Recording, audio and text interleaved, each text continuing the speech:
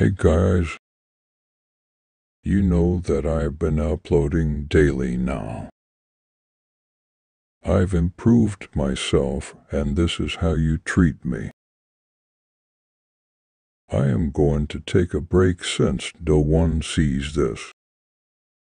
You shouldn't expect that kind of break. This one will be different.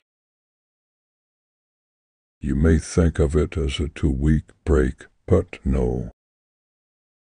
It will take much longer. This is your fault.